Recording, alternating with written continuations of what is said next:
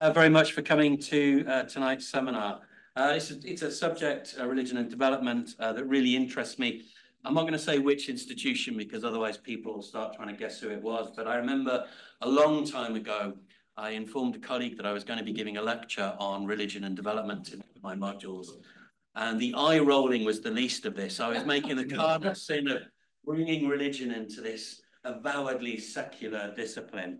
Um, and I think you know, although there's been a huge amount of work over the past two decades, which uh, Mariz has been kind of a key part of on religion and development and wider social change, I think development studies clearly still has a religious, a religion problem.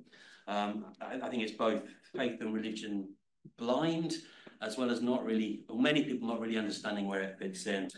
And what's really been really interesting is that despite that resistance, the first time I talked about it in class, there was a sense of of overwhelming release amongst the students because so many of them had come to the discipline of development studies from volunteering or from working with religious organizations or, or, or some other similar route. And it really reflected a reality for them. Uh, of course, not everyone, but I think that the fact is that we weren't talking about things that meant a huge amount to people. And of course, as we all know, uh, when we're kind of working in the various parts of the world, just how important religion, religious discussion, religious discourse is. So it's, it's critical we uh, understand it. So I think that background makes uh, this evening's talk all the more important with the focus that we're going to have on uh, freedom of religion and belief, uh, experiences of discrimination, and thinking about innovative ways of uh, engaging with that. It, it's also back in the 1990s, there was a lot of work on heritage, um, and then it seemed to quieten down again. So I, I, was really interested to see, not just here, but also the amount of research proposals and, and new ideas and innovation focused on heritage over the past maybe four or five years. Um, it makes it a really interesting lens, I think, through which to pursue what we'll be thinking about this evening. I'm really pleased to have two wonderful speakers. Firstly, uh, Professor Mariz Tadros, who I've known her work for a, a, long time, but we've never actually met. So this is a, a, really nice opportunity to meet for the first time. Mariz's Professor of Politics and Development at IDS at Sussex, former Director of the Coalition for Religious Equality and Inclusive Development, current Director of the Middle East People's Culture Conservation Collective, author of many things. I'll just pick out three books, uh, or the, her three books on gender, Islamism and Copts in Egypt, amongst many of her other publications. Have a look uh, at um, the list. There's some uh, amazing and amazingly interesting things there. Uh, also delighted that Romina uh, who I think is now joined us, we had some technical issues, um, uh, is joining us tonight. Uh, she's a UKRI Future Leaders Fellow in the School of History, Religions and Philosophies here at SOAS. She's the co-chair the SOAS Centre for World Christianity, co-founder and editor of Decolonial Subversions. And she's a principal investigator on a project which is looking at religion, de gender, development, public health, and domestic violence, which builds on work that was done for her brilliant PhD thesis. I know it was brilliant because I was one of the examiners. so I'm delighted to be able to chair. Oh, there we go, I chair this session. Uh, hi, Romina. Um, so uh, Mariz is going to speak for about 30 minutes. Then we'll Good to be with you. Thank you. Then we'll uh, hand over uh, to Romina and then we'll open up for Q&A and we'll finish around 6.30. Mariz, please. Thank you. Um, I think I'd like to start by thanking uh, the Department of International Development and Professor Singh who invited me. Thank you very, very much for giving me this amazing learning opportunity. And thank you to Professor Jennings and Dr. Istratii for um, helping to anchor this. And I look forward to learning from you too and from everyone here and as well as any, everyone online. Um, and um, I know exactly what you mean when you said that sense of awkwardness. And I probably shouldn't be sharing this anecdote. And I didn't, I did not prepare. I was not thinking of starting with this anecdote. Um, so, um, but I will share it. I think the first time I uh, shared with colleagues in IDS that we are, we've established a consortium comprised of faith and non-faith-based human rights and academic and pra development practitioner um, organizations and initiatives. And we are going to be looking at freedom of religion or belief in development. And I am, I belong in the Institute of Development Studies to a, a very particularly open, inclusive uh, uh, cluster of research And the initial reaction was complete silence. it was just silence. And I was thinking, how do I break this silence? What do I do? What do I say? And you know, and at IDS, if you ever go visit, we don't have moments of silence. Everybody has everything to say at all times. And then uh, a dear colleague of ours, uh, um, Emeriti Professor Rosalind Eyben, uh, sort of looked up and said, hmm, this looks very much deja vu. I remember 50 years ago when I talked about women in development at DFID, the International Development um, part of uh, the UK government. We don't have it anymore, but that time it did exist. I remember getting that silence as well. And I think that sense of comparison of 50 years ago when people dared talk about issues of women's rights and women's inequality in development, and that sense of comparison with how does it how does it relate to raising issues of freedom of religion or belief is quite interesting. Um, so I'm going to talk a little bit about where we are coming from, who's we, and then I'll, I'll, I'll touch on three points. I'll touch on the case for freedom of religion or belief and how it's a little bit different to the overall, the broader paradigm of religion and development, because there's been an enormous amount of very important work uh, by Professor Jennings, by Dr. Istratii, by um, also uh, Dr. Naomi's work, uh, Professor Naomi's work on um, uh, the three uh, financial, fuel, and food crises touched on the role of uh, faith-based organizations, as well as colleagues here, and I'm sure your own work. So there's been a lot happening on religion and development. I want to talk a bit about the inequalities dimension, and then I'll move on to why is it that development can, why is it that development struggles with freedom of religion or development as an inequality issue? And I will end on talking about heritage, how FoRB and heritage, freedom of religion or belief, which I'll refer to as FoRB, linked to heritage. Well, you just have to bear with me for the next 20 minutes, um, for which I'll come to. But um, I will also be doing, I confess, some um, self-ashamed promotion of some of our publications, which are all open access. So you can, I don't mind just uh, checking them out while we're talking. It's absolutely fine. I will not need psychotherapy if you look to your, uh, if you look to your computer uh, screens and, and, uh, and check them out. So I will be putting them on screen as I talk because um, it's uh, it's all there, uh, very accessible. So I'll, I'll, I'll start with the wee bit. So in round about 2019, um, a group of consortium members, some of which included a Muslim faith-based organization based in London, but with um, a good outreach or presence in uh, many parts of the Middle East and Sub-Saharan Africa and South Asia and Khoei, um, as well as Rifsemi, which is um, coming from an indigenous Christian Middle Eastern background. In other words, it's not the conventional um, uh, Christian faith-based actor that you engage with because it comes from the Coptic uh, church, which was a church that has its own Christian trajectory that dates back to 48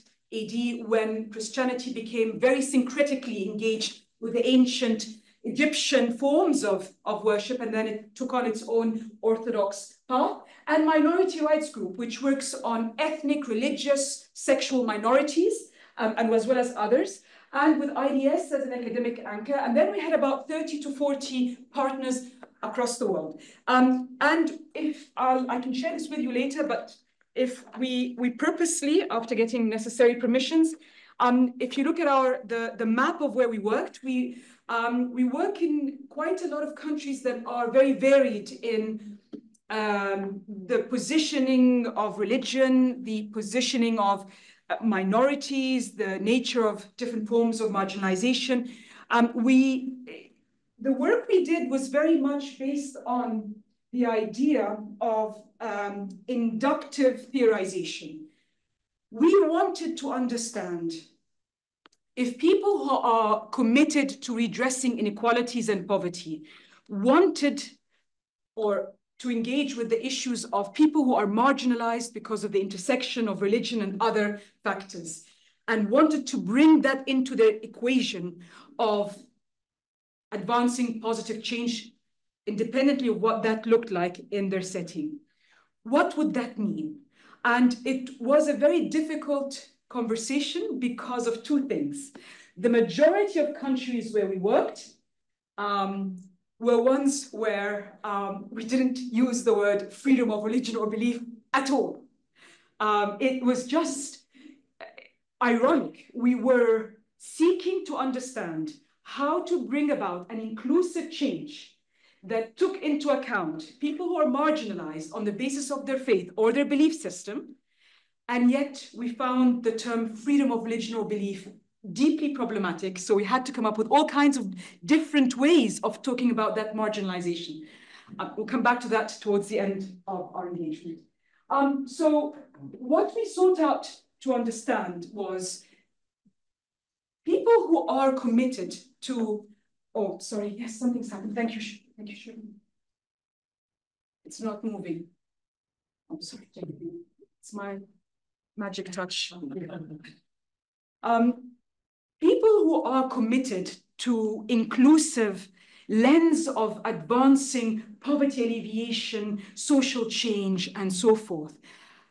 How do they think about religious marginalization? And of course, it meant that in many cases, whenever we looked at the major development players, the World Bank, the, I, the UN agencies, including the ILO and UN Women, and all these agencies, there was a blank. I'm generalizing very badly. Yes, there were exceptions, but I'm talking about trends as opposed to case studies. The same thing with um, international development organizations in these countries. Uh, they really struggled with it. But before I, I talk about what we were doing, I just want to very quickly um, talk about, we started with this and then we transgressed dramatically. I don't think it's moving. I think it's my magic touch again. it's the arrows that I'm using. Maybe I should just double click on it. Maybe that would work. No, it's still my magic touch.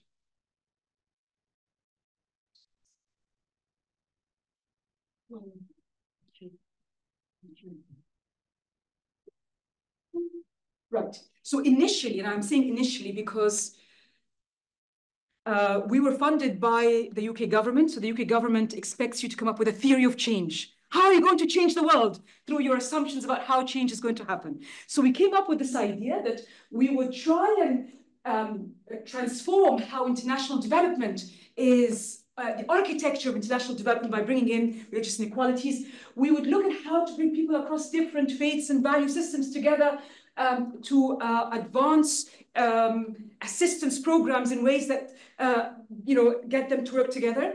Um, we would engage with the relationship between online hate speech and how that relates to the mobilization of hate on the ground and vice versa. And we would try and bring coalitions of people who come from very different backgrounds but are committed to an inclusive vision um, together. And we would try and be as um, as interconnected in the rights we bring together as possible. Disability with freedom of religion or belief, gender with freedom of religion, climate change, and so forth. And so we wanted to de-ghettoize the idea that you have to be a person of faith or you'd have to have a value system pertaining to something that is sacred in order for you to care about those who uh, are marginalized on the basis of faith. It's a bit like the argument that we were making in Women in Development 50 years ago, that it's not a woman's issue. It is an issue to do with our visions of humanity, of civilization, of, of the order of society, of politics, and so forth. So we wanted to also take that and say you don't have to be someone who is practicing a faith to care about inclusion and marginalization. Now, a lot of this, of course, as you expect, was dramatically challenged when we started, our starting point was not to issue calls for applications or proposals. Who wants to work on this? That was not how we started. The way we started was, where do we have partners that have legitimacy on the ground? Now, legitimacy is not a word you often associate with international development um, policies and practices. I don't think when you come to apply for a position in development, they say, so have you thought about your legitimacy or legitimacy? It, it's not something that's part of our regular lexicon.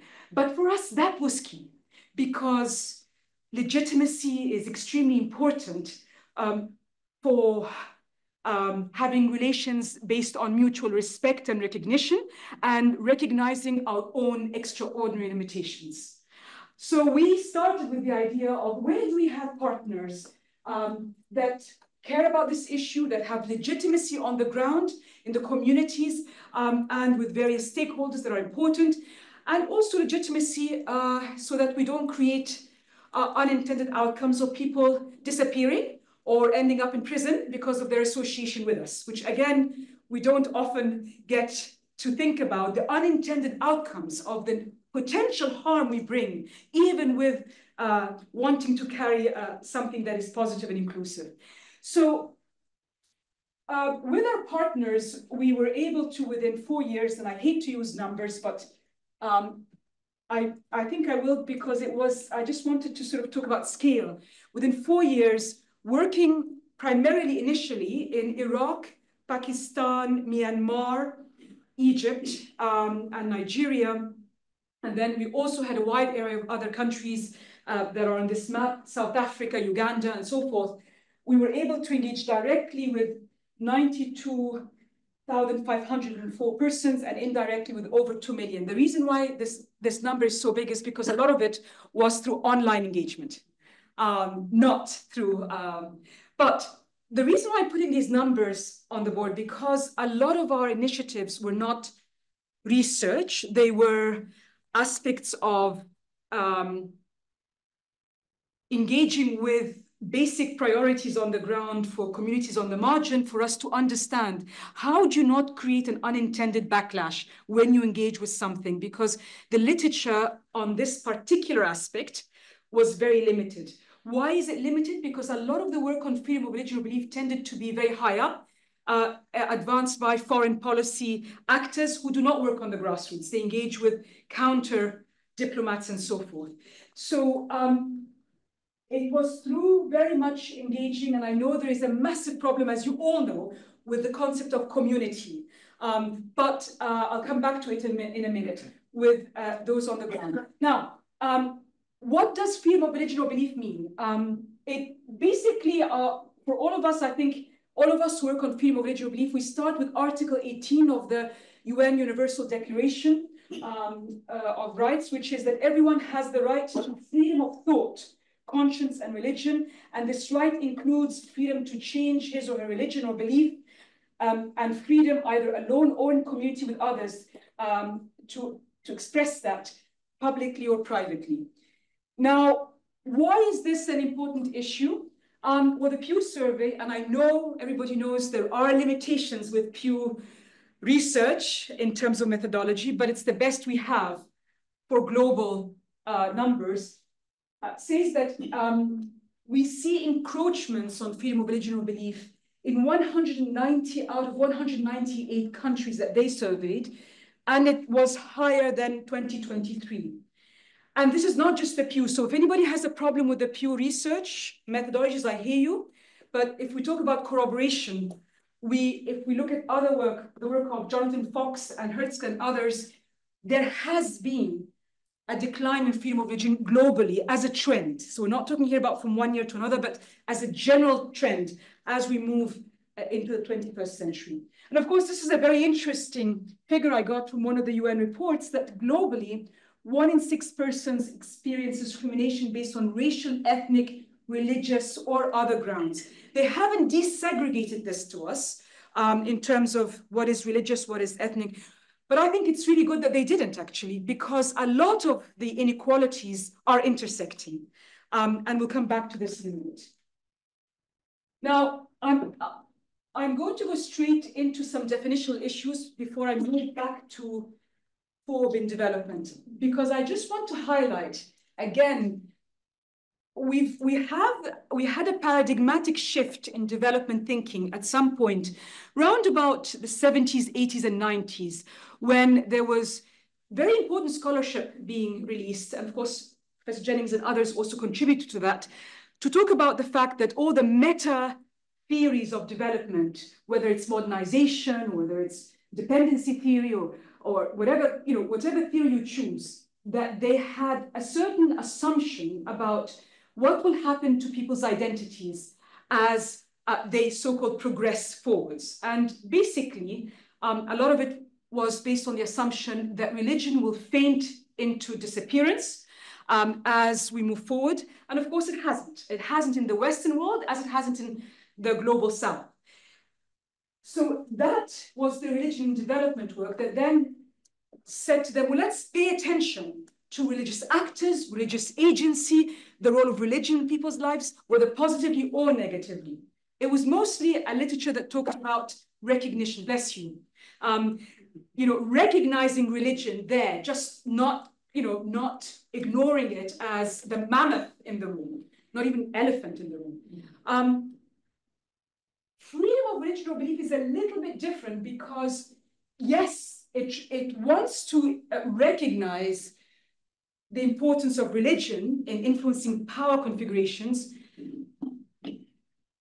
but um, it focuses a lot more on the inequalities of people on the ground. So here, with the religion and development, a lot of it was about recognizing actors, doctrines, and role in development services. Here, we're talking about inequalities. We're talking about when you are when you have a differential access to education, to health, um, to um, uh, welfare benefits, um, to even just how you are treated in the market. Because one aspect of your identity happens to be something that those that are engaging with you don't like. Now, it could be that they're discriminating against you not just because of your religion, but because you are because of your religion and your ethnicity or your religion and your race or your religion and gender, all of these.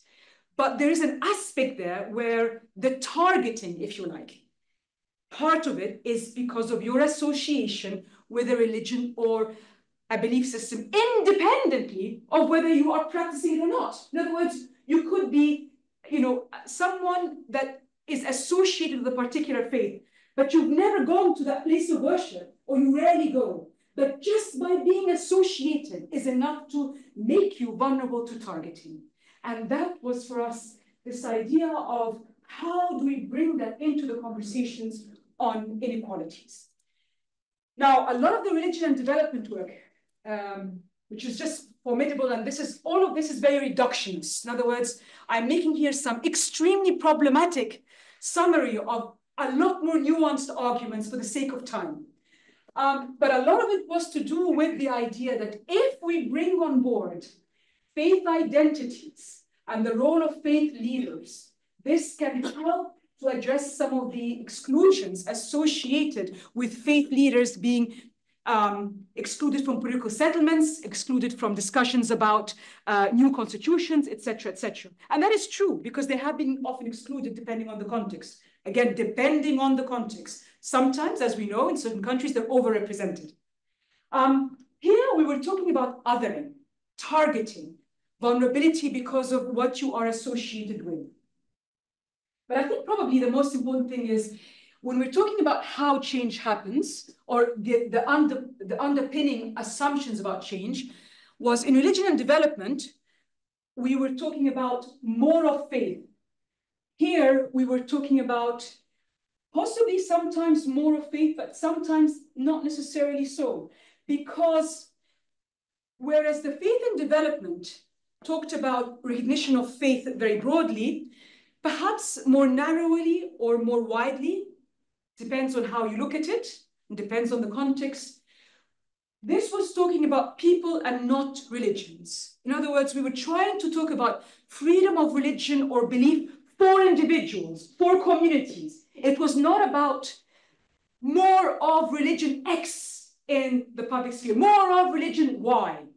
And it's very interesting because when we come to talk about hate speech, you know, the, the, then the discussions become very, very prickly because, you know, people would come and nudge and say, oh, this work on freedom of belief, do you think you can promote my faith system on your website because we have, we're very peace loving and we're this and that. And it's like, well, you know, I'm sure you are, but we're not in the business of promoting religions. We're in the business of identifying where inequalities exist, intersecting inequalities, and understanding why is it that these inequalities have been overlooked?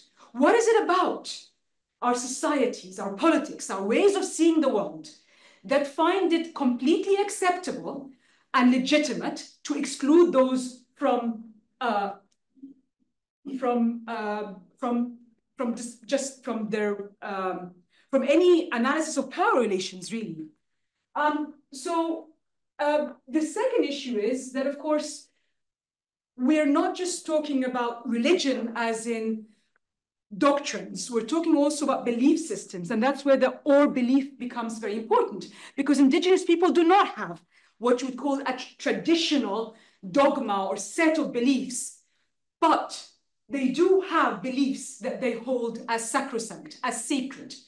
And that was very important to bring into the conversation about inequalities and exclusions of people, a fundamental aspect of people's not just agency, but how they see themselves in the world and what they see as, as, as their role in the world. So it was really important for us that we also recognize um, the belief system of indigenous people um, and the fact that in many parts of the world, there is a mixing and matching of your belief system. It is not just, I started with the idea of the Coptic church in Egypt, starting with a syncretic dynamic relationship between the, the, the, Christian faith and the ancient Egyptian ways of worship and how those came together. But if we look at India, uh, and we have some amazing examples in this book, which is open access, and I'll leave it here on the board for you. Uh, amazing examples of how um, a Hindu woman would uh, pray to Saint Anthony when her son gets sick, but she would go to the to the temple because of a very uh, uh, because of a very important um, celebration happening there, and she has a goddess which the Hindutva, the the those that are currently defining what constitutes a Hindu identity, find that this goddess is superior to their god, gods and goddesses that they want to recognize. But she has she has, she has a, a statue of the goddess in her room. At the same time, she will join her Muslim neighbor when her Muslim neighbor goes to a Sufi shrine. So that kind of syncretism becomes very important recognizing that when if this if you ask this woman, are you a Hindu, a Christian, or Muslim, uh, based on where you worship or what you do, it becomes very problematic because yes, she's a Hindu, but it's not that she's a Hindu, meaning that she doesn't recognize and engage with directly other belief systems that she takes on as her own. So that was very important for us to also understand the dynamics of inequalities that go beyond um, the silos. Now, nonists, of course, because we know that in some parts of the world, your identity card does not allow you to say, I have no religion. It doesn't exist. It, it, you cannot say, I am an atheist. You, you just can't. It's, it's, not, it's not a possibility. And I think, although we didn't, in practice, to be very honest, deal with um, collectives of communities who said, will you work with us because we want to have that option on our ID card, it, it, was, I think, the bit about freedom of religion or belief, the belief system bit was very important to recognize that it's not just about um, those that have faith, but it's those that where the, the, the fundamental belief system clashes with religious homogenization trends. By religious homogenization trends, I mean um, the concentration of power in the hands of those that are able to shape politics and societies in ways that determine a certain way of uh, living and believing and professing what constitutes that system. So we're talking here about cases where um, um, even if, just go, to back, go back to the example, we have, even if you are a, practicing Hindu, but you're not, you're not sticking to what constitutes the attempt by the Hindutva to determine that.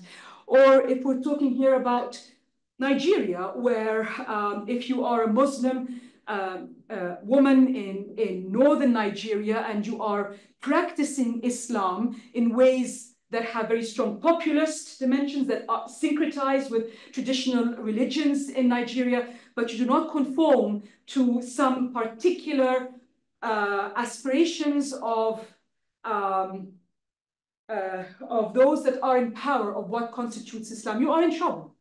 Um, and so I, we, we were talking about what does it mean when we live in contexts where there is an attempted homogenizing, oh no, really? um, and what would that look like? Now, I want to talk about a little bit, just go to the, the bit about can we address this in international development? Can we bring in those intersections of inequalities based on class, ethnicity, gender, um, um, as they are experienced by people who are marginalized because uh, they belong or they practice a certain faith or belief system into international development. Well, I'm going to talk about four key issues. Um, the, oh, I think I've done a mistake again. Sorry, I have to, yeah.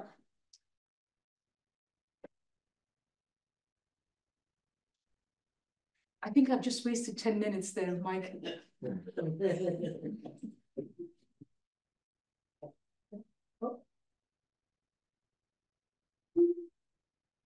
So I'm going to very briefly talk about three things. Yes, we do have an ontological, epistemological, and methodological dilemma when we engage with freedom of regional development. Freedom of regional development, whether we're talking about a lot of the belief systems of indigenous people or a lot of the faiths, don't see the temporal parameters in the same way that secular development sees it. Life doesn't start and end with your 60 years or your 90 years. There's a different knowledge of what life is. And uh, for Abrahamic faiths, there's the idea of transcending into an afterlife, uh, as well as for other religions. And for indigenous peoples, there's a sense of an interface between who you are and nature, flora and fauna, and a wide array of very complex belief systems about agency isn't just the personhood, but personhood in its interface with part of a broader system. So there's the temporal aspect, there is the porousness of who you are in relation to others, but there's also a wide area of issues of uh, transcendent as in what you don't see and touch and feel, um, which is seen as absolutely essential for your well-being. Now, if you remember, Maslow had the pyramid, and in his pyramid, where you start with your basic needs and you move up, and you know, uh, he'd probably see this idea of the transcendent dimensions as a privilege, as something, you know, if if you can afford to have those kind of belief systems after your. But actually, I think now there's a lot of scholarship that is emerging. I think no, I mean, people's sense of the spiritual aspects of who they are can sometimes even supersede uh, some of their basic uh, needs of, um, uh, of uh, I wouldn't say, I wouldn't just start with food and drink, but I would say uh, aspects of what other people would say are crucial bundles in our HDI, Human Development Index. So I think, yes, there is a problem ontologically and um, epistemologically in terms of how do we then engage with people's full being in a way that recognizes those aspects. How do you capture that in a human development index?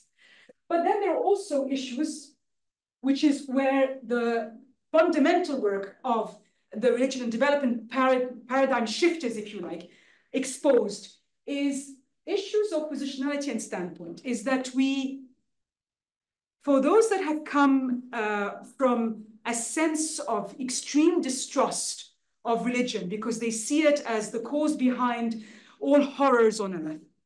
There is the sense of, am I advancing a regressive agenda by advancing freedom of religious belief? Am I allowing a space for more of the bad stuff? And I think they don't actually articulate it. But then sometimes even just personal biases associated with, with negative experiences. If you happen to be in a in a school that had a particular faith identity and you had a mean teacher and that mean teacher wanted to appear as if they are the representation of that religion, well, that affects you. It affects how you then engage with those aspects. And the idea of being upfront about our, our biases, our prejudices, uh, where we stand on issues, um, is is is problematic because people don't, you know, they try and legitimize biases and prejudices by saying, well, actually, it's not religion, it's ethnicity. Well, actually, it's not religious inequality, it's based on gender. There's a continuous trend in international development to try and say it's ethnicity, it's religion, it's ethnicity, class, uh, political ideology, gender. And yes, if we talk about intersections, it could be all of these things, but sometimes there's also a dimension to do with religious ideology. And we have to reckon with that, positively as well as negatively. It's not a normative stance. It's about just incorporating it into our power dynamics. Sometimes it will be very positive in terms of what people find as uh, advancing their well-being. Sometimes it encroaches on spaces, but it just needs to be reckoned with.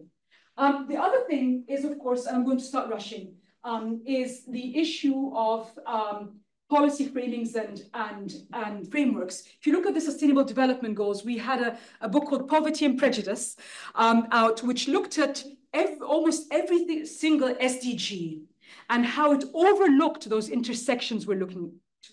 And it's really interesting because uh, one of our colleagues looked at who tends to be disproportionately in prison. And surprise, surprise, the Dalits, the Adivasis, and the Muslims.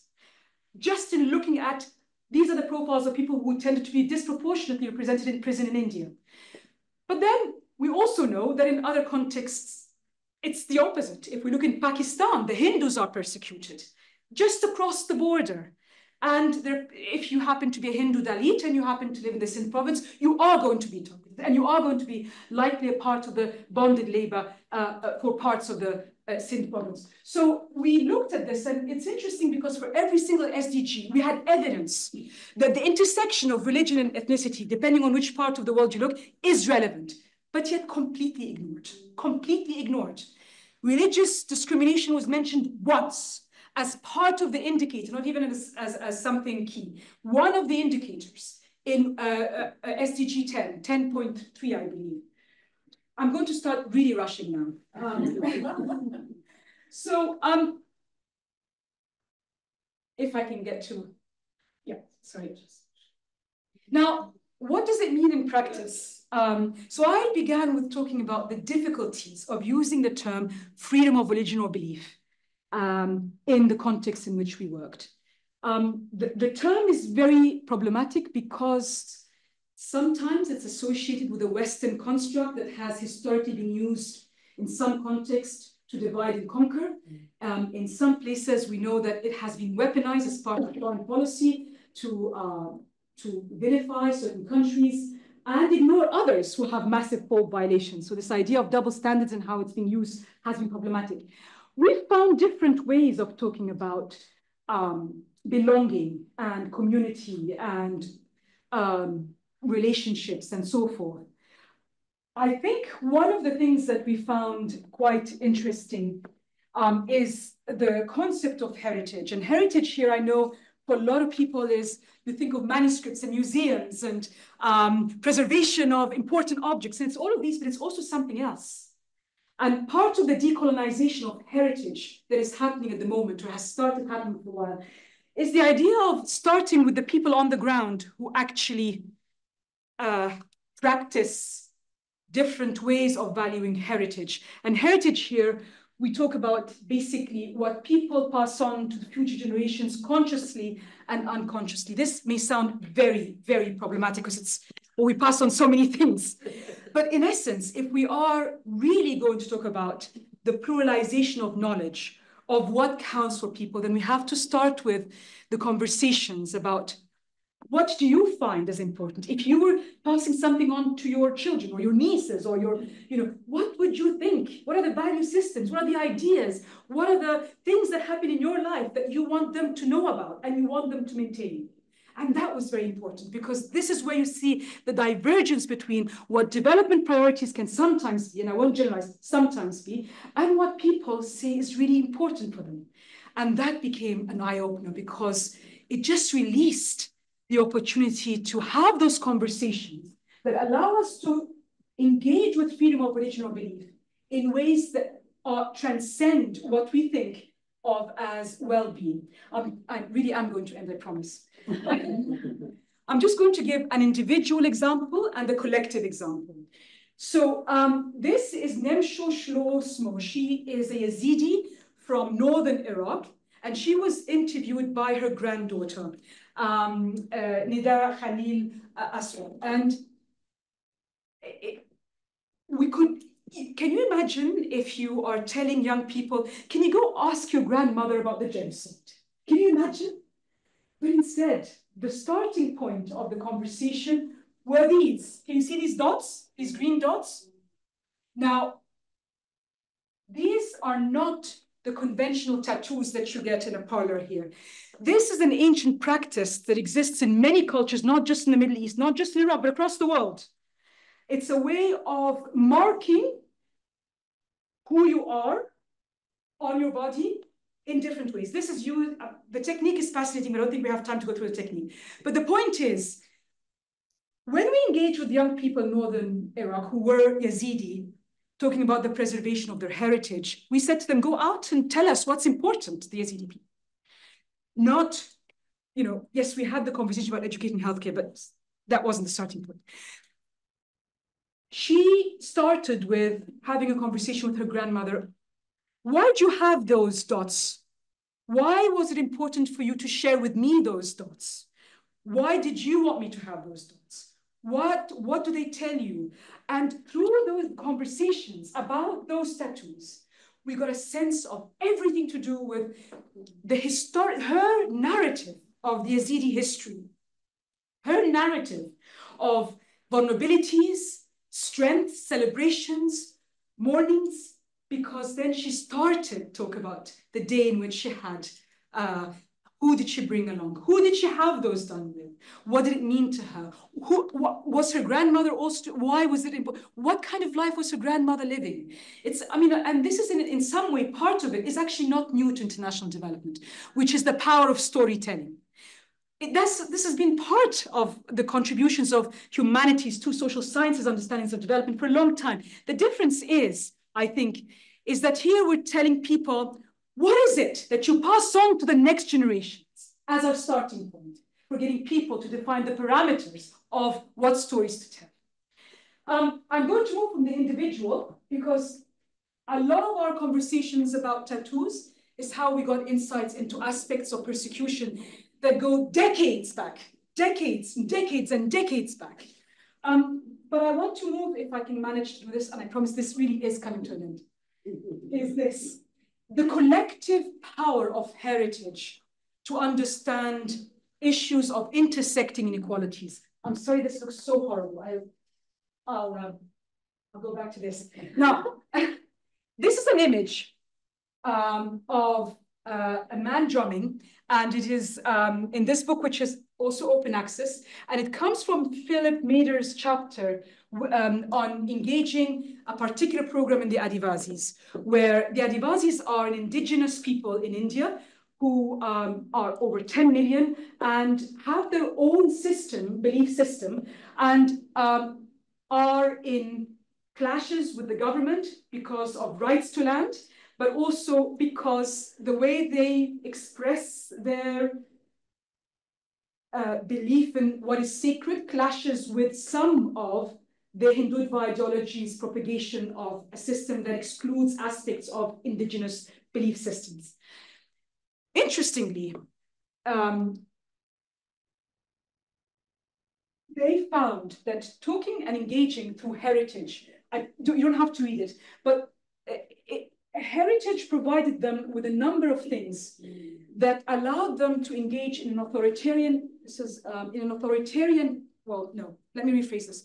Heritage allowed them to engage um, on who they are in ways that were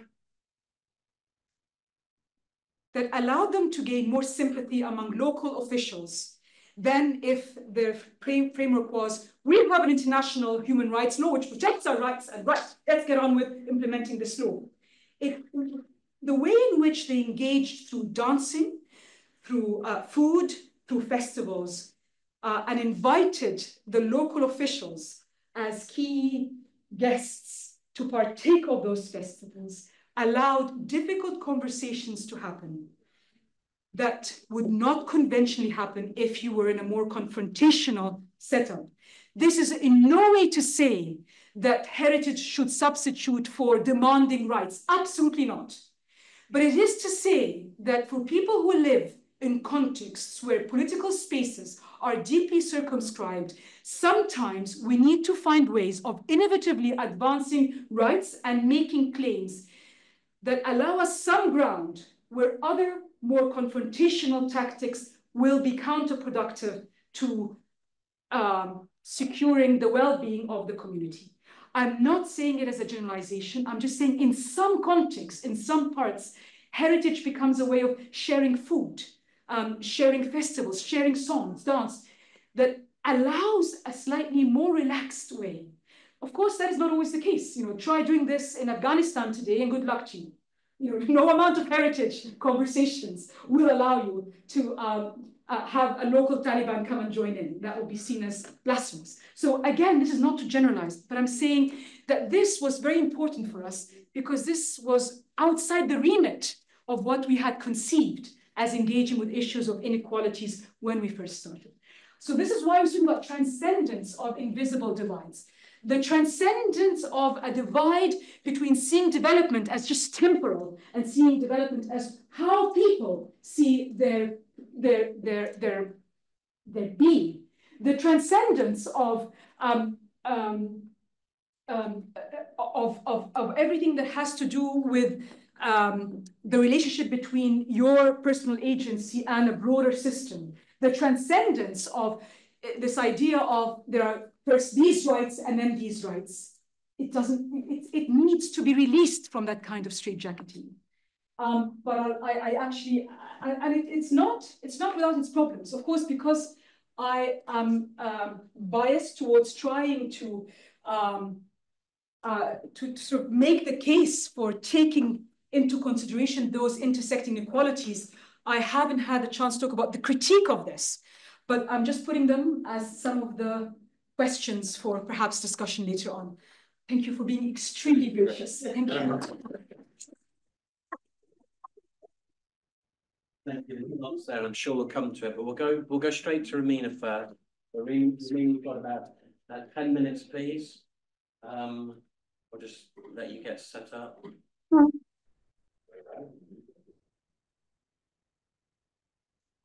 Thank you. Can you hear me? Yes, we can.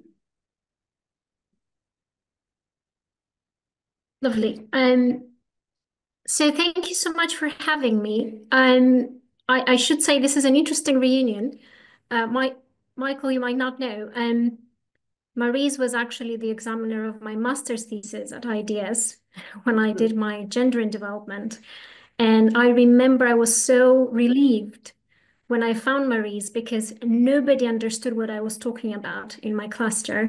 Uh, if I mentioned anything around religious belief, it was uh, there was silence. I mean, the, the type that Mariz talked about. So, uh, so Mariz um, examined my master's thesis uh, very generous, generously and and open-mindedly, as I needed at the time. And then um, Mike examined my my PhD thesis. So it's a it's an interesting coming together here. Uh, thank you so much for having me. Uh, just to confirm again that you can hear me because I have a little bit of delay on my end, and I want to make sure that you can hear me. Yes, yes. we can hear you. Lovely. Okay. Um, Mariz, thank you so much for the presentation. It's been about 10 years, honestly, um, that I last uh, engaged deeply with uh, with the, the work you do. And it's it's amazing to see how far this has has has come. Um, I, I have a few thoughts. I mean, honestly, the, the, the thoughts I have are mostly um, reaffirmations of what you said. Um, it's it's it's really important work. I think this distinction between religion and development, or how religion is being engaged within development practice, theory and practice, versus the conversation around religious belief, is an important distinction to be made. Uh, and I admittedly, when I entered um, in this conversation, and I will say a little bit about my background in a minute, I did not make that distinction. Um, perhaps because the way I approached it, I approached religion was from a sort of decolonial angle as seeing it as religious worldview, as systems of belief, the the type that you are talking about, Mariz. Um, and my argument has been that development should engage with religious systems and religious worldviews more holistically.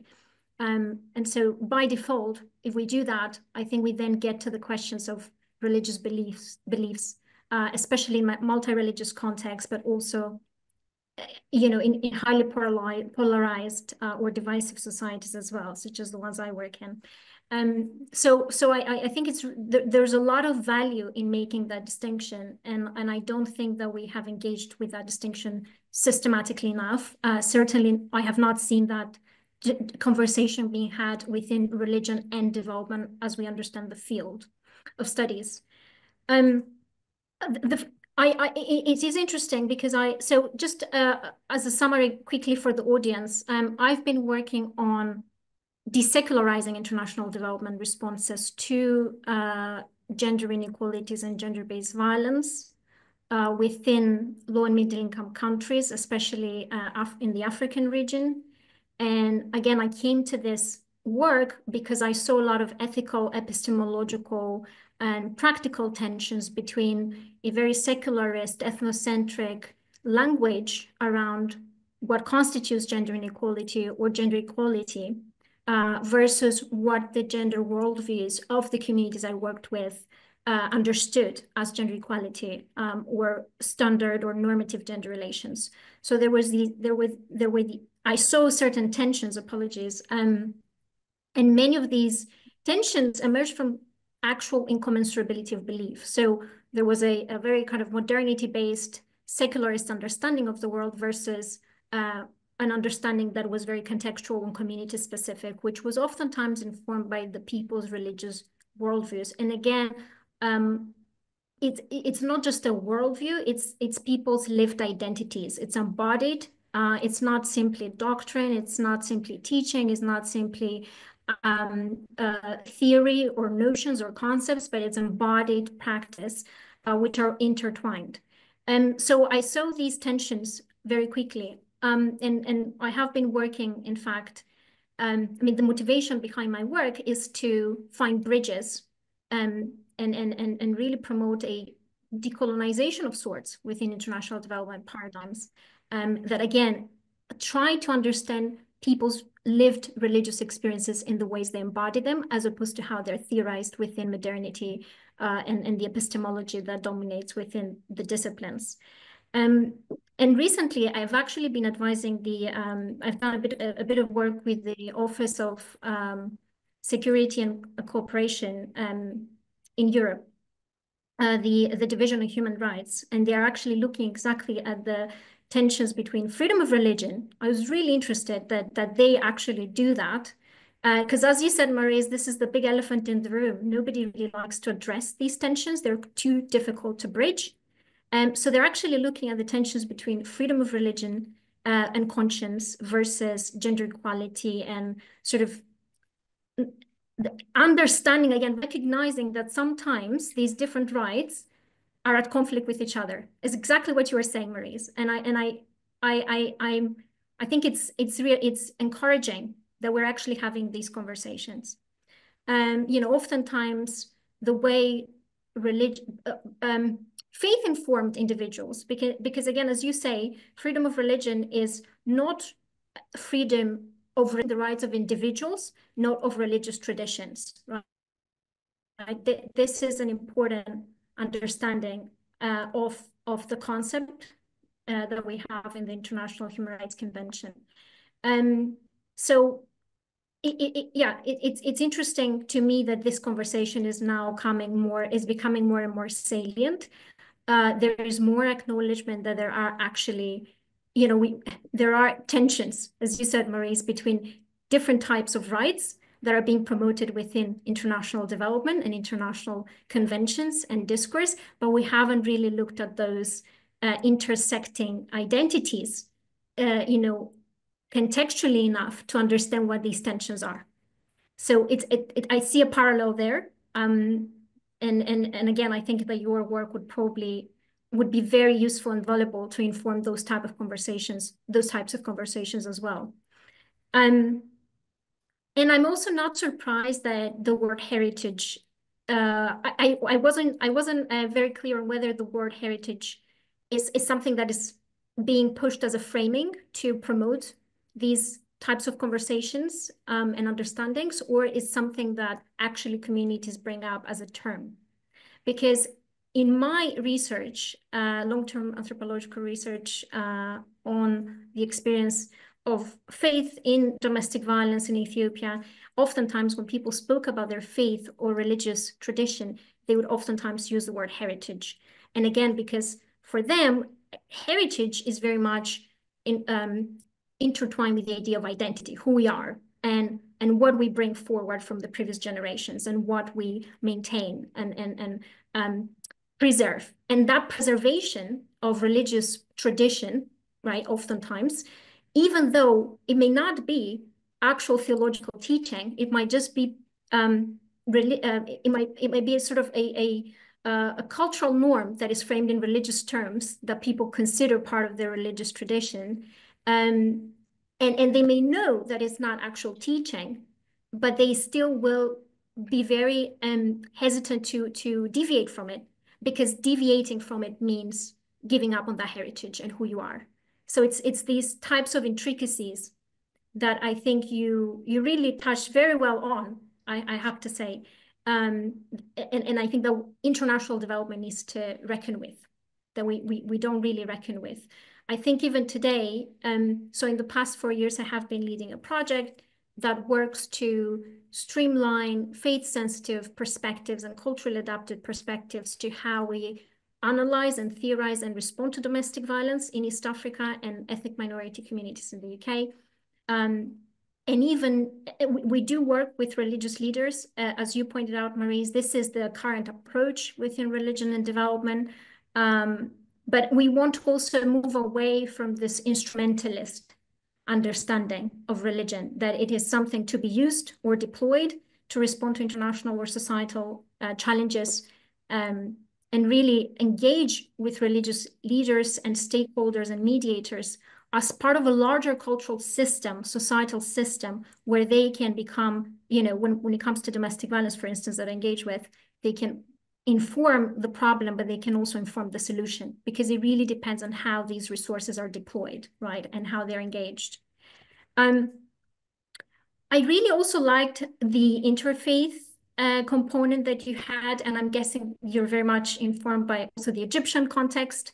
So recently, my colleague, uh, Dr. Mahmoud uh, Ali Afifi and myself did a bit of research um, on interfaith engagement of Muslim and Christian clerics in responding to domestic violence in Egypt and Ethiopia.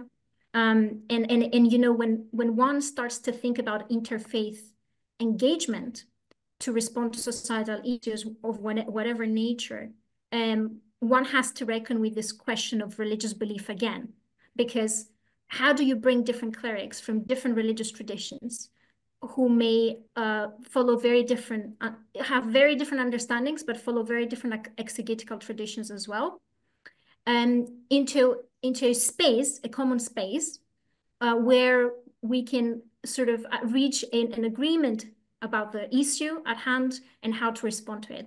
Um, and and may, may, both of these contexts, Ethiopia and Egypt, um, especially Ethiopia that I know of so, uh, better off, so I'm going to refer to Ethiopia here, um, ascribe, you know, uh, promote inclusivity and diversity. So when you engage with a religious community, you should not discriminate, you should engage, should engage all religious communities within a program of development.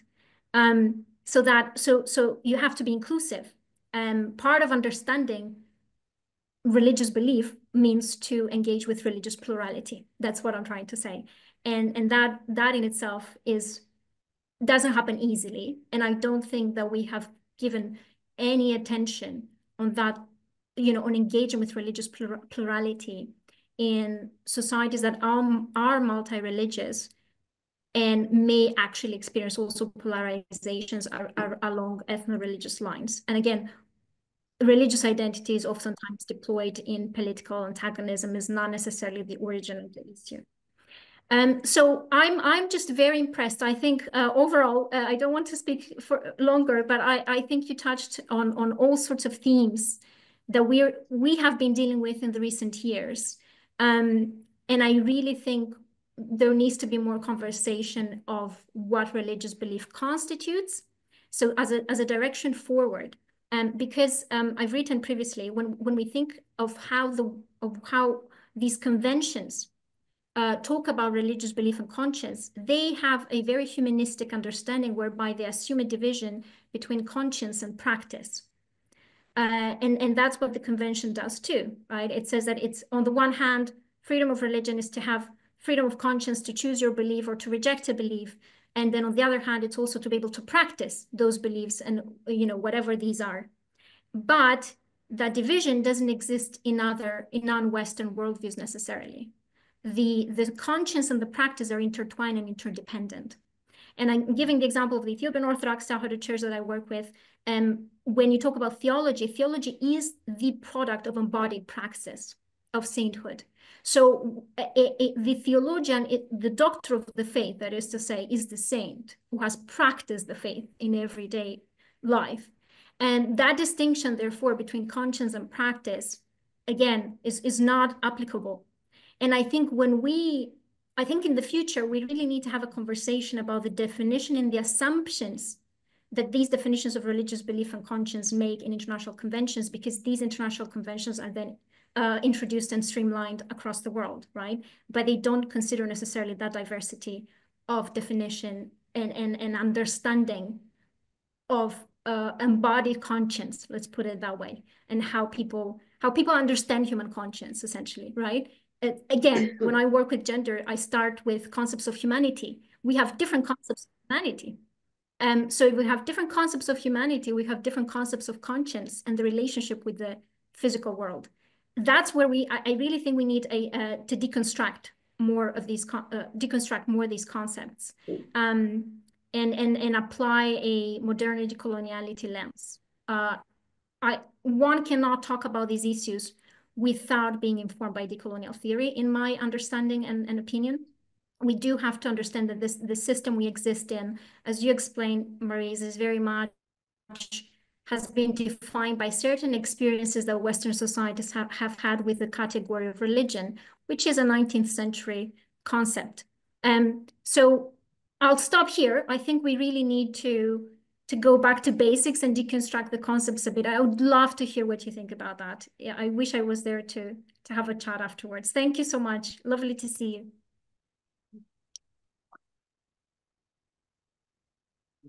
Really interesting uh, reflections there. Um, so I, I'm going to forego Chair's privilege of asking the first question so we can open it up uh, to the floor. Uh, so if I need, uh, is there a question online as well or not? should be one, yeah, there's only Anyone in- one. Okay, sorry, Alessandra's got a question. Thank you so. Thank you so much for, for this, um, I find most stimulating, thank you so much. I have, uh, two questions, one relates to, uh, this, uh, case you made for uh, religion being part of how, inequalities are molded, so how it affects inequalities at the receiving end, and uh, religion being one of the intersecting inequalities.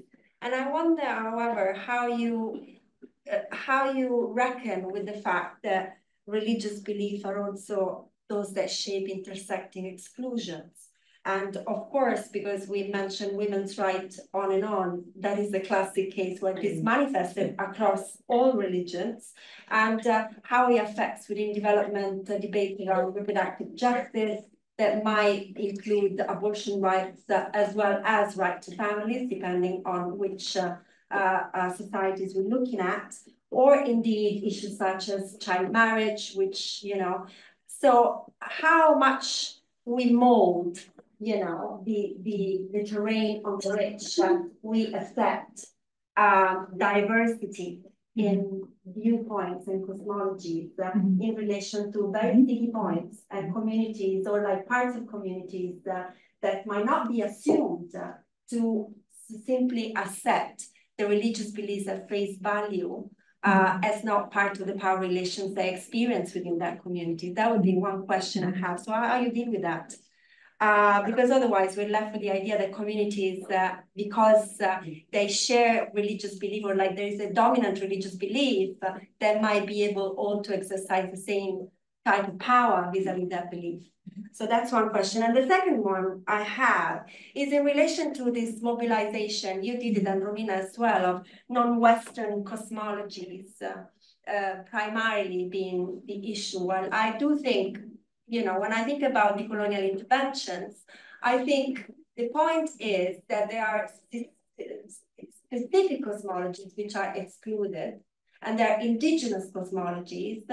But by the fact that when we talk about development and who enforces development, uh, it's not so much non-Western the problem, uh, or like sorry, Western the problem is to do with states, is to do to which who is represented at the level of development organizations, and so the major organized religion being represented, while instead uh, indigenous right, indigenous cosmologies uh, generally not being taken into account because uh, either part of settler colonial states and so on and so forth. So um, I was not sure there of how you sort of then account for indigenous uh, issues or issues related to indigenous cosmologies, while that is actually a lack of representation issue mm -hmm. more than, you know, uh, that can be part of uh, the same -hmm. ways in which uh, these inequalities are crafted. Mm -hmm. Thank you.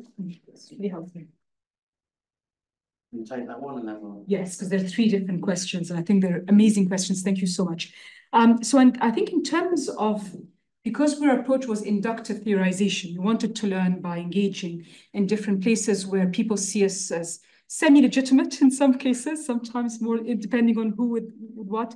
Um, we we worked with a plurality of actors in, in, in different communities, um, recognizing that there are inequalities in any community, whether we're talking about a Brighton community, whether we're talking at Sindh province, with uh, a significant Hindu population, or we're talking, there will always be intra-group dynamics. And I think it was very important for us not to assume that certain actors will be proxies for the whole community. The idea of, you know, bring me your leader. Well, actually, a leader at what level, to whom? So I think for us, it was very important that at all levels we look at who are the voices that often happen to be excluded while being humble in recognizing no matter how many people we try and involve, we will never be fully represented. But we did make concerted effort to include women of, of socioeconomically marginalized backgrounds. We sought to bring in young people who would not conventionally be brought. So in all the heritage work, we started with the young people, not with the elders. And they were the ones, and uh, women and men, who had to, who, who were taking forward the agenda. So that's on the, you know, the, the intervention, I hate the word both development and invention, the way of engaging with communities, we're trying to purposely seek out different voices. But on the issue of the tensions of rights, there will always be tensions in different rights. My problem is the double standards that are being applied to actors of faith, because we don't say to someone who is belonging to an LGBTQI community who is targeted, do you uh, do you have prejudices towards those of a working class? And he or she may. Are you uh, are you um, are you fully uh, do you have racial prejudices? And sometimes they do, like everybody else. In other words, there there seems to be a double standards where if you're engaging with Christian actors, the assumption is that they are narrow-minded, that they're exclusionary, that they are intolerant. And it seems to me that there are often double standards when engaging with religious actors in the idea of tensions. In other words, the kind of manifesto that people have to sign into, if you come from other minorities, uh, LGBTQI, sexual or, uh, what, or ethnic, even ethnic minorities, fade as if they don't exist, as if Nobody has prejudices. Nobody has inequalities that they believe in, except those that are of faith. And I think this is very dangerous because if we look at indigenous people in Brazil, there are people where there are issues to do with certain practices that severely violate certain rights. But nobody says we will not defend indigenous people's rights to not be persecuted or not to have, we will not, we will stop defending the right to their land because their value system is incongruent with certain aspects of a rights framework. I just think that there is a there is something there to do with um, an emphasis on reconciling those tensions in rights for a particular set of actors, which is not applied to other actors who are also targeted and discriminated against on different grounds. So I'm not saying that every single person of faith is inclusive or exclusive. Like other actors, there will be some that have different value systems. But what I'm saying is that we need to be careful that our defense of or our championing of people on the basis of their experiencing unfair inequalities is not conditional upon them uh, tick boxing every single right that we believe they should have. Because we don't do this with indigenous people, we don't do this with LGBTQI, and we should not do it as well with others. Having said that, are there coalitions of faith actors that engage globally that advance agendas that can be exclusive, exclusionary? Sometimes, of course. There are all kinds of coalitional actors that advance highly exclusionary actors, and some faith actors are no exception. So there is that level of actors, but then there's also those on the ground who are socioeconomically excluded, racially on the margins, ethnically on the margin, and happen to have a faith identity that makes them additionally vulnerable to and additionally susceptible to forms of inequality that sometimes um, lead to mass atrocities. And unless we recognize that, it would be a problem. I would personally find it a problem to say I will only defend the Uyghurs that believe in um, X or Y rights. I will defend the Uyghurs because they are targeted and persecuted on the basis of the intersection of their ethnic and religious identity. Uh, it, it doesn't mean that all, everything is resolved. It just means that how, what, how do we engage with those div, div, divergences in agendas is, is, is one that we have to also be aware of, of, of those aspects. Thank you. Does anyone else have a question? Uh, I'll go to uh, Kate and then we'll, we'll work backwards. And also I'll, I'll, come to the person online if you can hear me as well. If people could introduce themselves when they're on. Yeah, that would be great. Hi, I'm Kate Smollett from the London School of Economics. Um, yeah, thank you for a really thought-provoking presentation. I have two questions, well, a question about par two parallel concepts and two pitfalls I see in what you're doing. You said you were edging towards a more critical angle, so maybe this is an opportunity to, respond to that. I'm wondering what this perspective adds to two concepts that are already very much in the social sciences and discussion of development, which is identity groups so I'm Irish. Religion is absolutely central to the way we define our Irish identity groups. So it's it's already very centrally understood among the layers of identity and legal pluralism. So in different societies, you know, people marry in various ways. They um, have uh, various gender ideas about how things should be done. Uh, some people feel they should be allowed to carry a weapon because it's a religious obligation. Societies have been working these things out for quite a long time. Uh, I'm from Canada, the Kirpan issue was a big issue and then they sat down, talked it over and now it's not. Um, so what does this add to an understanding of identity groups and legal pluralism as a way of analyzing these issues. Mm -hmm. And then my concerns, I think I see two really risky pitfalls, mm -hmm. the ways in which uh, focusing on religion as though it's a separate uh, angle, a separate kind of identity.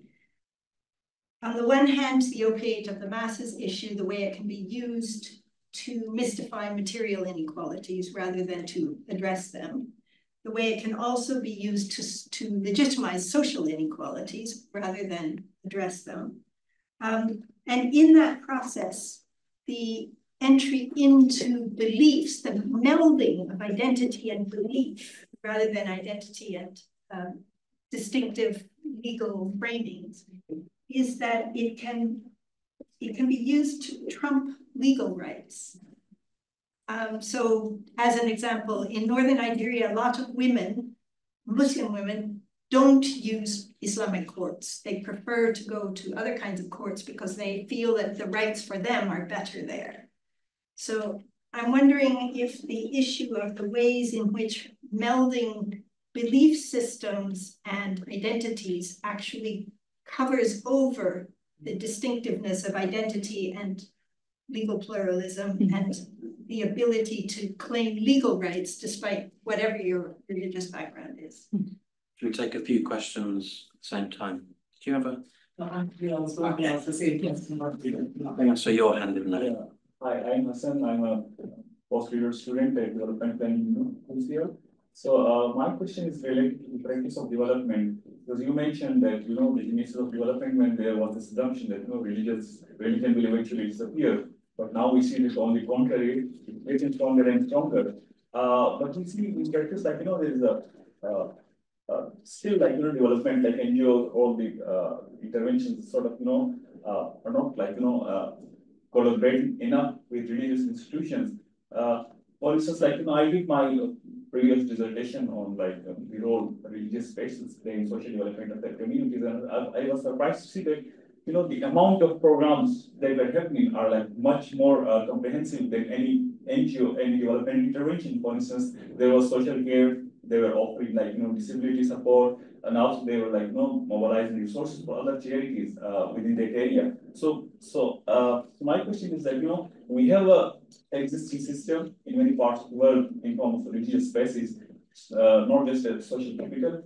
Why don't, you know, these international development agencies cooperate and, you know, utilize those, uh, that, that capital, that spaces, uh, to, to implement their programs, especially challenging areas, you mentioned Afghanistan, for instance, now it's very difficult for like in, in NGOs to operate in Afghanistan, but why don't they complement the existing efforts of those institutions? Thanks. Harbin, do you want to read out the online question or put it up on the screen, whatever one's best?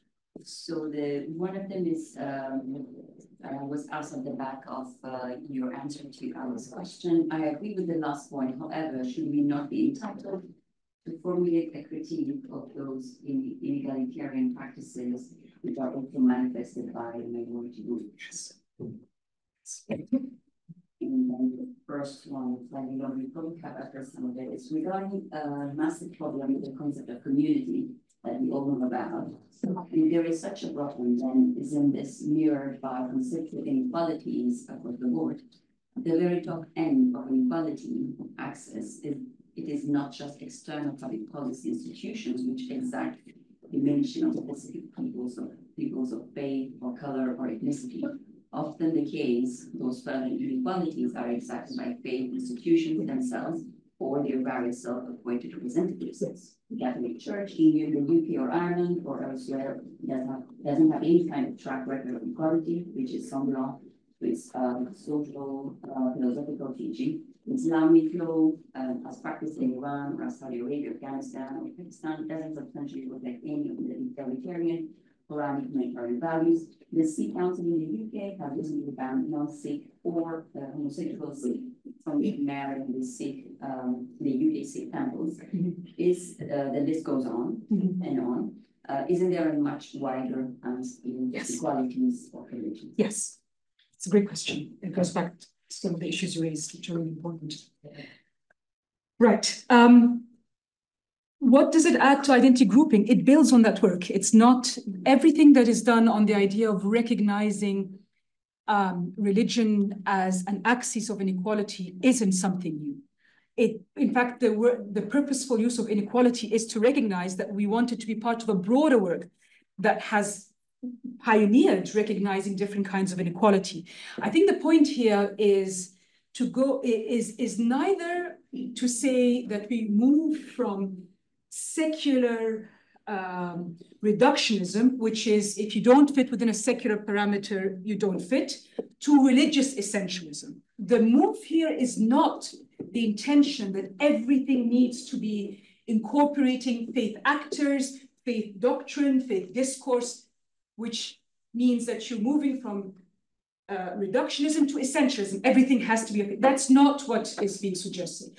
What is being suggested is that when people are being targeted on the basis of an intersection of different identities together, that the aspect to do with their targeting, which is associated with their faith, has to be recognized as an aspect that in some contexts, in some points, exposes them to vulnerability.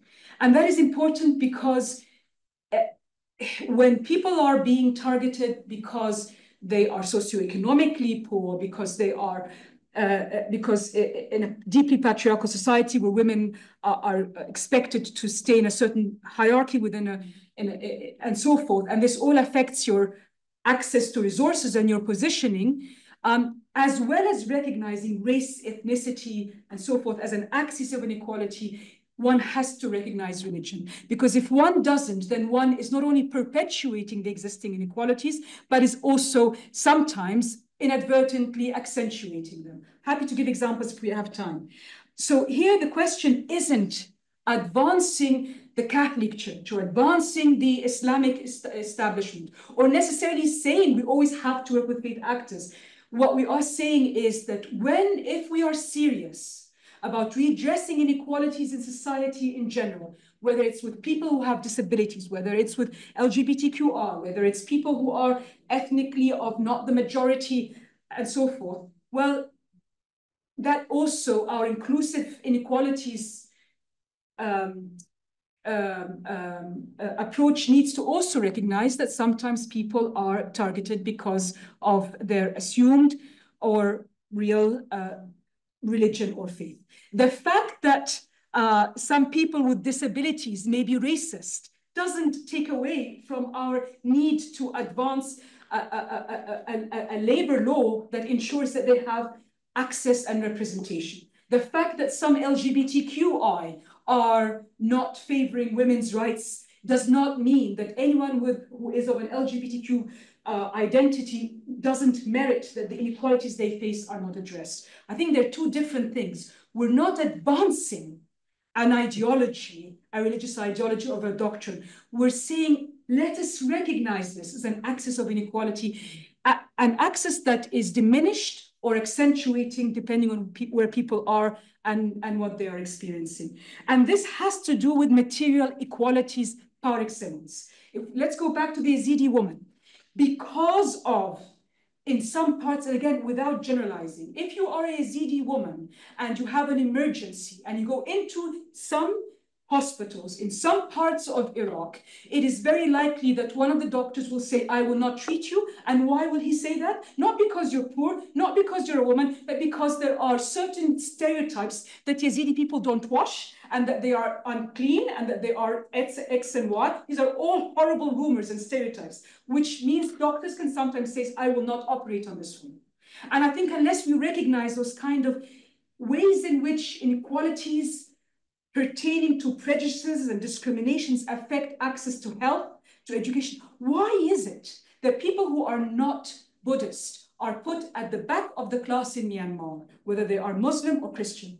You, you are, you put, you know, it's, it's as if you're being told, hey, you, go back. Don't sit on this row, go back.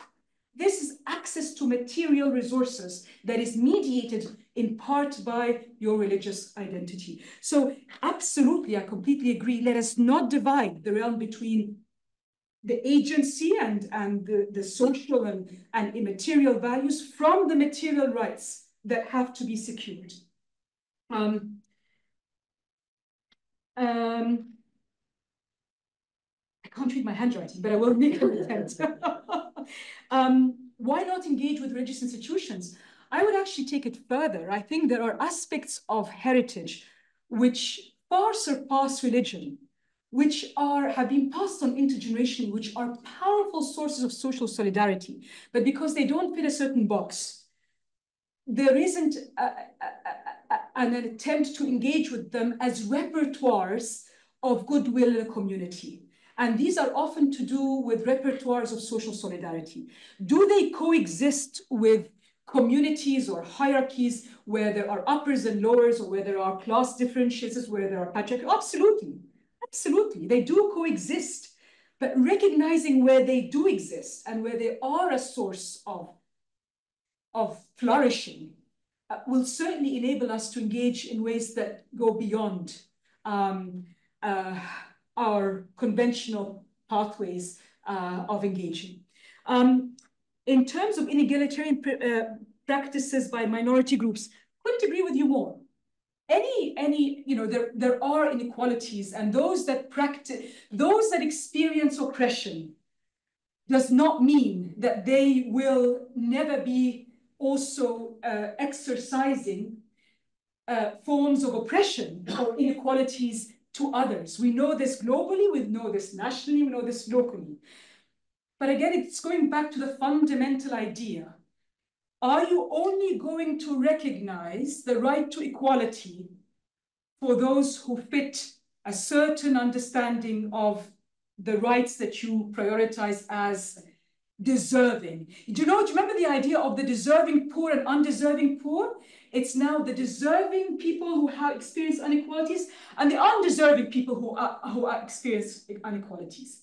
Does this mean that you don't critique religious actors who perpetuate inequalities? Of course you critique. That is part of the critiquing of all power dynamics. Um, but then how you critique and your consistency in critiqueness is important because one of the aspects of critiquing uh, uh, international human rights is that they have been inconsistent and they have applied double standards. So let's also bear that in mind in how we engage in our critiques. It is not to stop critiques, but it is to say, let's look at it into the wider, broader um, uh, situation. Um, I can't read the, the last one. um, sorry, did, did anybody say, so? I think it was pertaining to something here that was in the... So one of the questions was, uh, should we not be entitled to formulate a critique of those egalitarian practices which are also manifested by minority groups? Yes, yes. Oh, but I just want to say something here because this is really important. The fact, let you know, the fact that, let us say, let's go back to the example of Yazidis. The fact that there is domestic violence experienced by the Yazidis doesn't mean let's first deal with domestic violence problem before we then say they have experienced a genocide out of which has come systematic discrimination over decades. Let's first deal with domestic violence and then talk about their genocide. Because that is a very problematic paradigm of assumptions of the hierarchy of what constitutes the key rights first, rather than what people, differently situated people, are saying are their priorities. So I'm not saying, again, it's not a West versus the rest. It is a question of you know, being humble about, of course, the level of representation um, and recognizing their multiple voices in any community, but not negating those voices in what they are prioritizing because those priorities don't fit into our uh, priority lists. I think that's a really uh, excellent place to finish. We've only gone a little bit over time. Uh, it was a really interesting discussion. I've got lots of questions and lots of things I'm going to be going away to reflect on. And I think we've managed to cut through that uh, silence uh, tonight. Uh, so you know, please thank both of our speakers, Romina and of course, uh, Mariz. You.